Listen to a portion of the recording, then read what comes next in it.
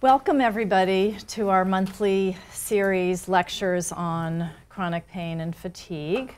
Um, I have the pleasure of introducing Dr. Gary Kaplan. I'm Dr. Lisa Lilienfeld. I've got, been a colleague of Dr. Kaplan's for 30 years and worked closely with him for the past 15. Dr. Kaplan is founder and medical director of Kaplan Center for Integrative Medicine in McLean, just a few minutes from here. He's author of Total Recovery Solving the Mystery of Chronic Pain and Depression. He's a pioneer and leader in the field of integrative medicine and only one of 19 physicians double boarded in family medicine and pain management. He's clinical associate professor of family medicine at Georgetown University School of Medicine, and he was recently appointed by Secretary Sebelius to serve on the advisory committee to Health and Human Services for ME and chronic fatigue syndrome. So join me in a warm welcome, Dr. Gary Kaplan.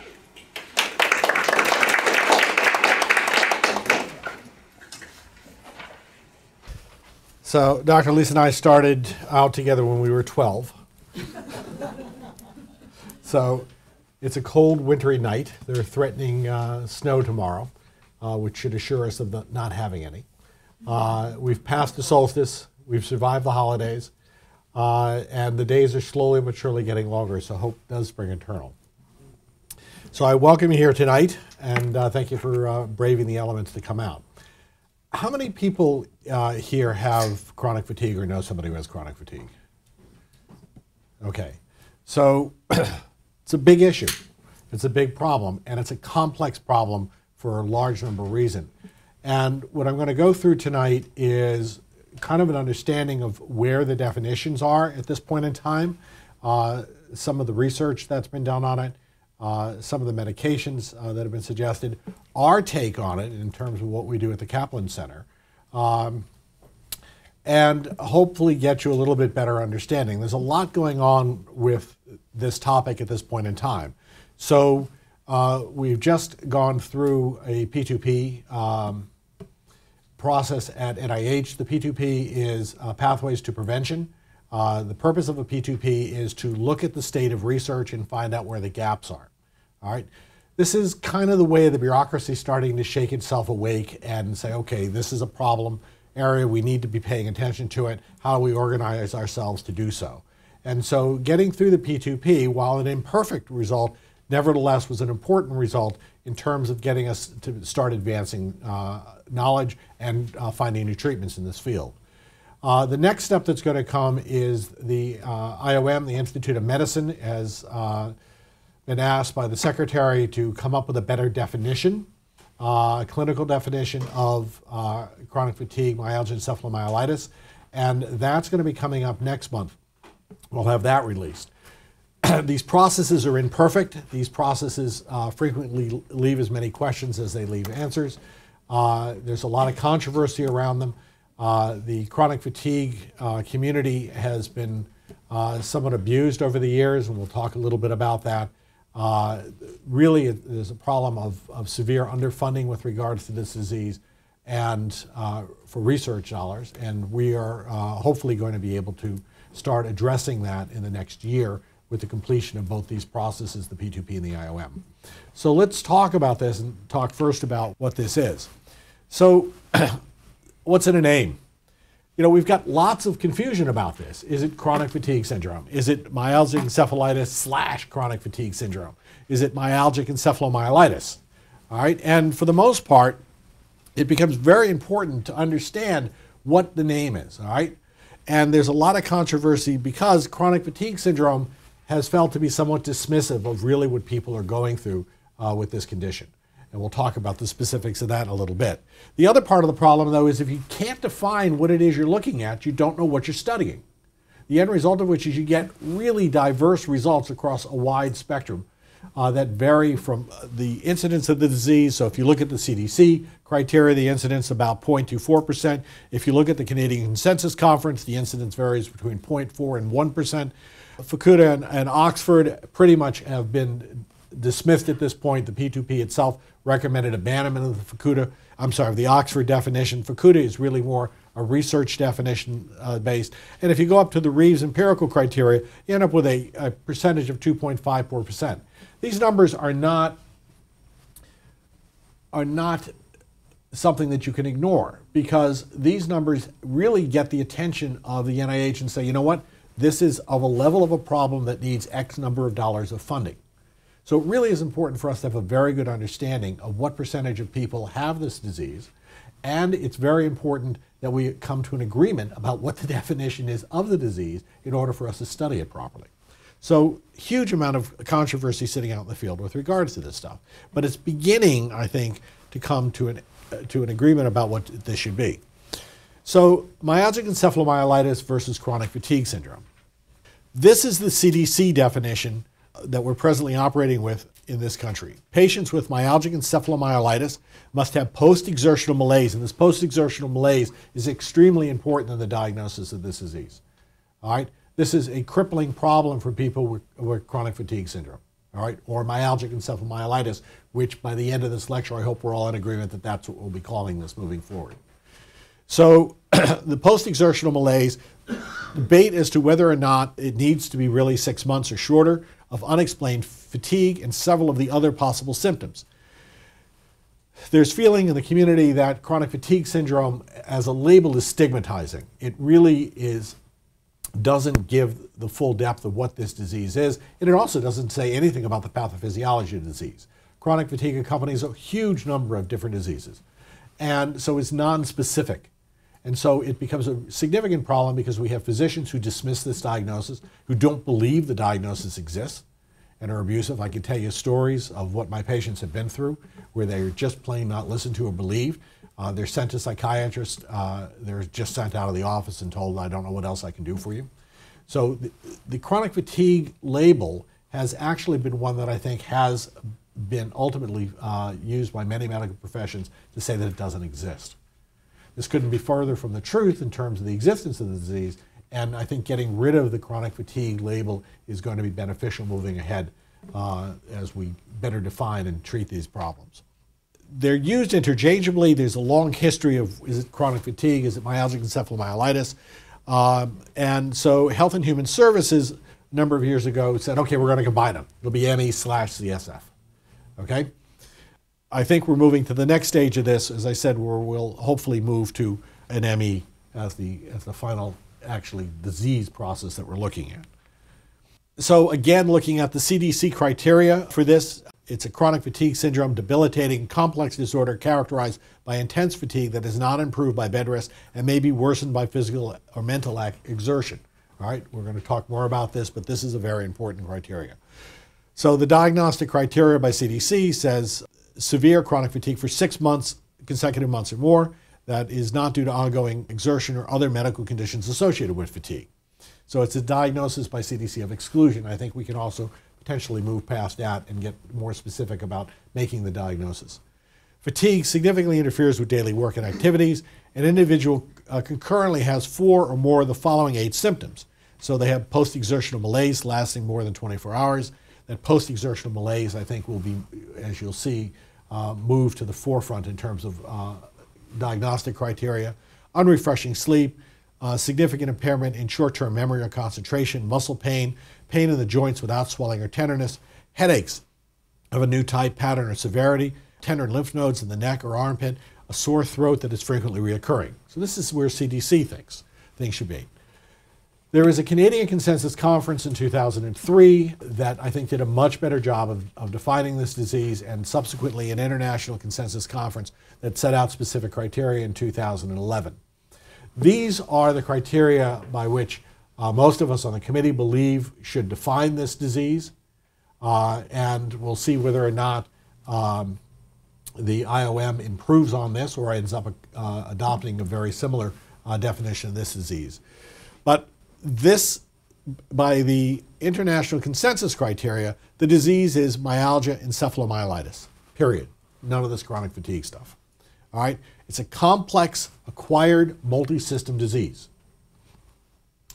The pathophysiology is profound dysfunction or dysregulation of the neurologic control system, which results in faulty communication and interaction between the central nervous system and the major body systems, notably the immune and endocrine systems, dysfunction of cellular energy metabolism, and ion transport and cardiac impairments. We'll go through what all that means in a minute. Since 1969, the World Health Organization has classified myalgic encephalomyelitis as a neurologic disease, all right, something we've been a bit slow to accept in the United States. This business of post exertional neuroimmune exhaustion, PENE, or also referred to as post exertional malaise, PEM. It's a pathologic low threshold of physical and mental fatigability, exhaustion, pain, and abnormal exacerbation of symptoms in response to exertion. It is followed by prolonged recovery period. Okay? Note that unlike the CDC criteria, specific duration of symptoms is not necessary. This people who have this disease, okay, when they attempt to exercise, when they attempt to focus and concentrate over any period of time, okay, and it's variable according to the severity of the disease in a given individual, get exhausted. They have trouble recovering from that exhaustion. I mean, it can be crippling. It can lay them up in bed. It can leave them incapacitated for days. This is not a mild thing, and you cannot push yourself through it. Yeah, quite the contrary, attempting to push through it will cripple you more. So, this is really the hallmark of this disease this post exertional malaise. And the exertion applies not just to physical activities, but also to mental activities. So this is very, very important in terms of this new definition. Then you get to start your Chinese menu, okay? So out of one of the neurologic impairments, you have to have at least one or more of these to help make the diagnosis in addition to the post-exertional malaise. Neurocognitive impairments. People coming in complaining of brain fog, difficulty concentrating, short-term memory issues. All right?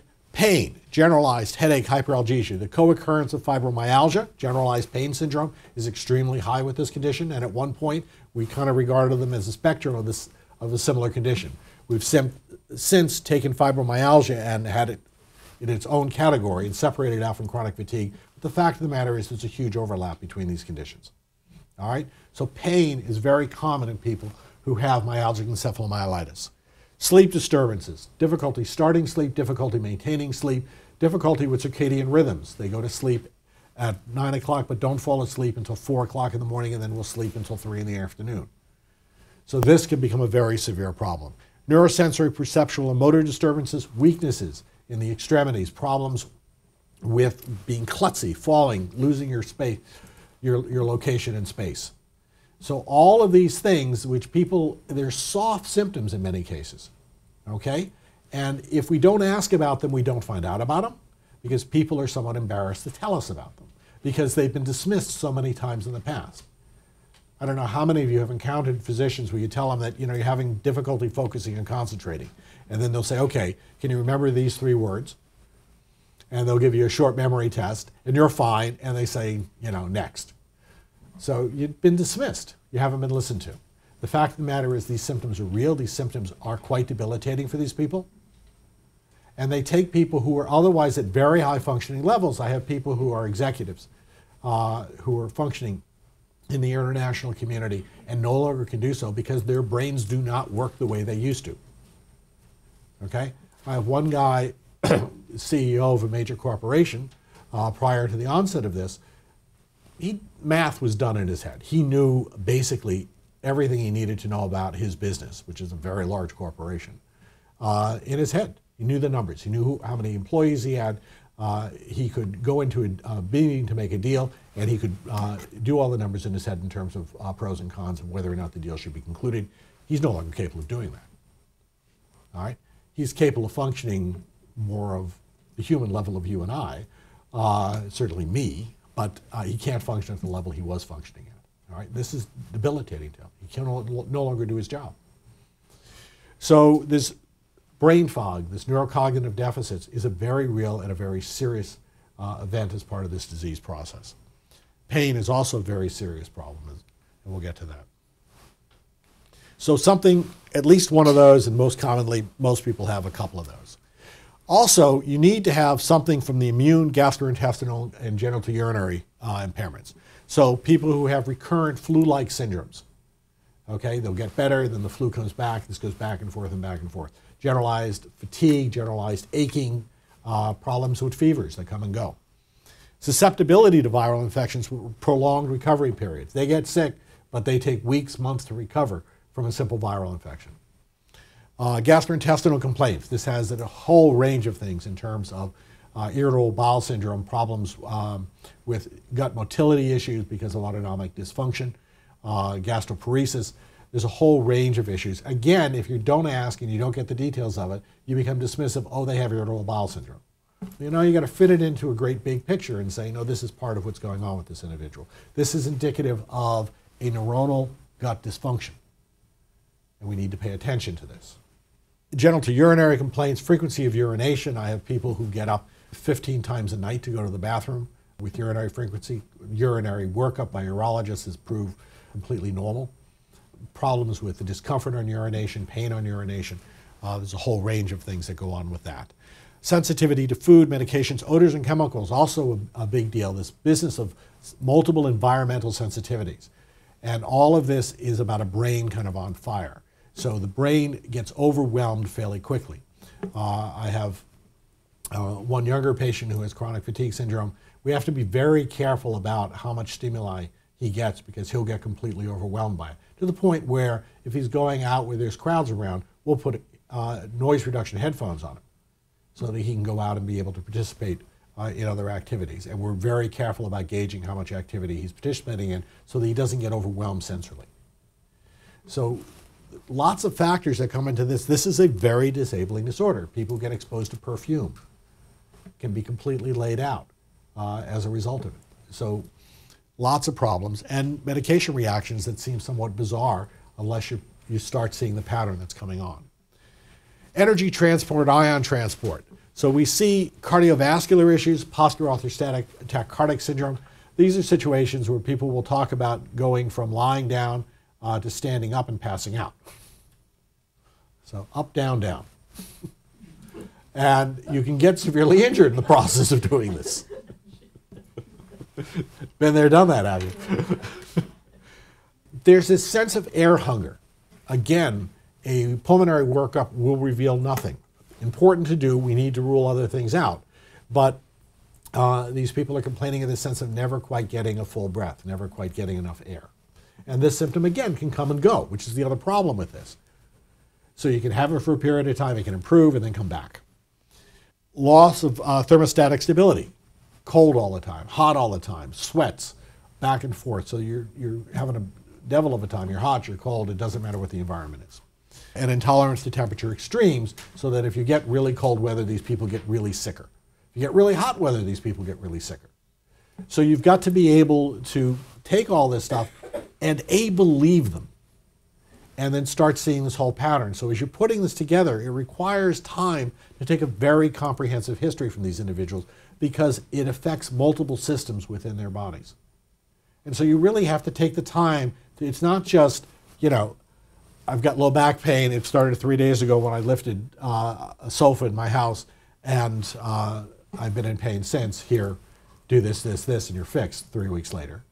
Okay? This is one where we've got multiple systems. We've got to get a sleep history on them. We've got to get uh, an immunologic history on them. We have to get uh, cardiac history on them. And we also have to do a very in-depth uh, physical exam on them as well. So when we're doing uh, blood pressures on them, it's not enough to do blood pressure with you uh, sitting at the table side. Uh, you have to do blood pressure and pulse with them lying down for five minutes and then have them stand up for three minutes and five minutes and again check blood pressure and pulse if you're looking for this stuff. You don't look for it, you don't find it. So these are complex diseases that take a lot of time to diagnose because we have to spend the time to collect all this data and get a clear picture of just how severely impaired and in how many different ways the individual is impaired.